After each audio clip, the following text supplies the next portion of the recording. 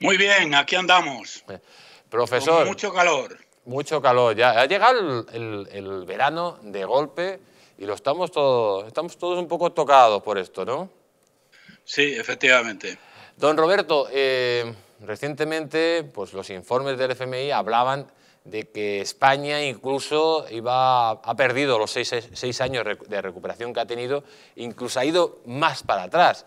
Eh, todo esto tiene nombres y apellidos el culpable y lógicamente es la gestión de probable de un gobierno infecto pues, dirigido por un personaje siniestro y por su compinche no menos siniestro.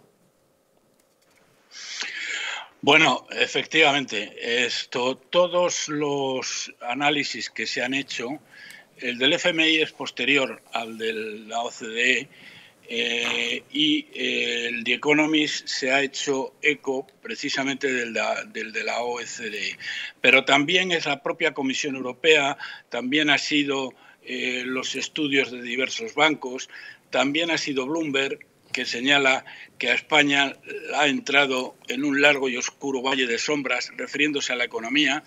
Y bueno, de lo que no hay ninguna duda es que España es mm, el país que eh, peor ha gestionado la pandemia. Realmente ha habido una, eh, un manejo realmente criminal de, eh, por parte del gobierno de la misma.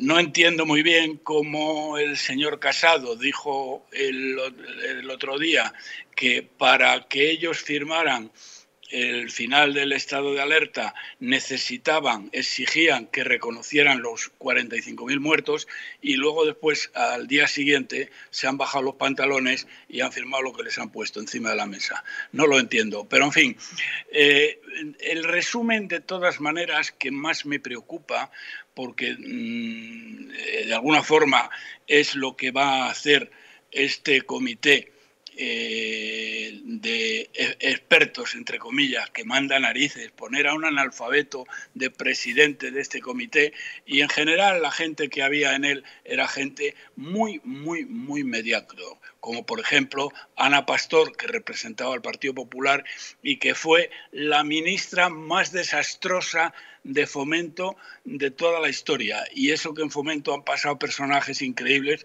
como por ejemplo Pepiño. Eh, bueno, pues eh, Ana Pastor la superó. Esta representaba al PP.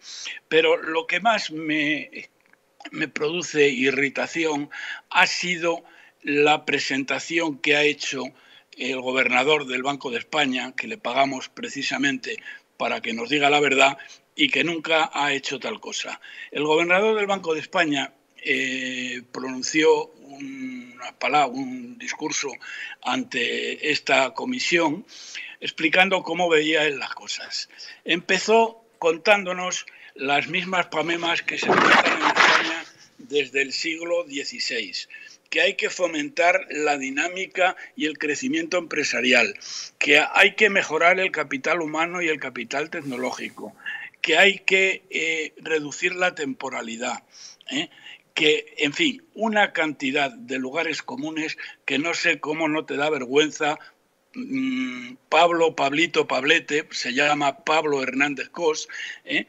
pues a Pablo, Pablito, Pablete le traen sin cuidado estas cosas y ha eh, dicho solamente lugares comunes. Y cuando ya no ha dicho lugares comunes, entonces es cuando hay que preocuparse.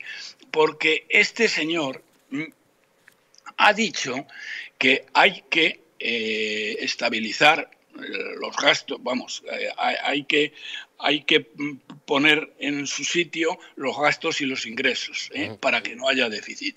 Bueno, pues saben ustedes lo que ha dicho el señor gobernador Pablo Pablito Pablete, que de los 100.000 millones que nos cuesta el despilfarro de las autonomías, no ha dicho ni pío.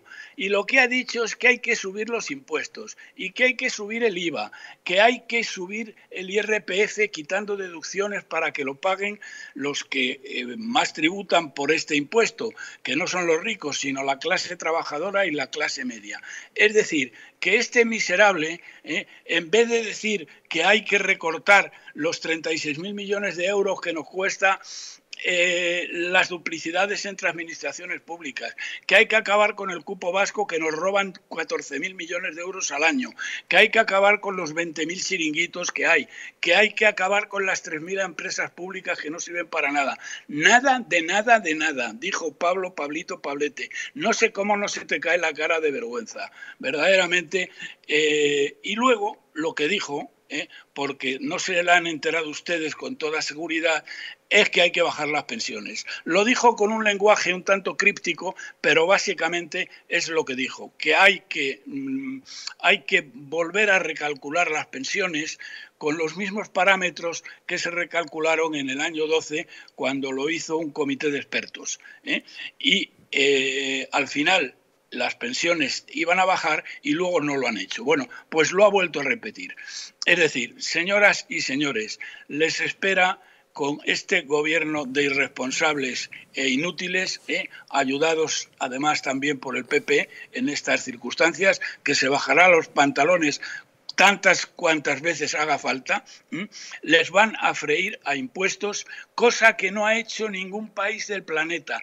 Todas han bajado impuestos. El último ha sido Italia, que ha bajado el IVA. Aquí se lo van a subir. Es una de las cosas que ha dicho Pablo Pablito Pablete, que hay que subir el IVA ¿eh? y que hay que subir el IRPF y que hay que subir toda una serie de impuestos. En total, más o menos 77 mil millones, que es lo que pide la indigna ministra de Hacienda. Y esto es lo que tenemos.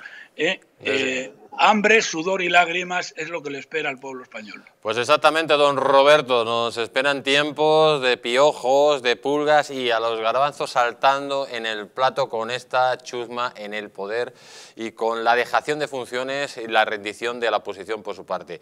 Don Roberto Centeno, líder de la Resistencia aquí en Distrito Televisión y miembro del Club Patriótico. Un fuerte abrazo y cuídese usted muchísimo. Un fuerte abrazo, lo mismo digo, adiós.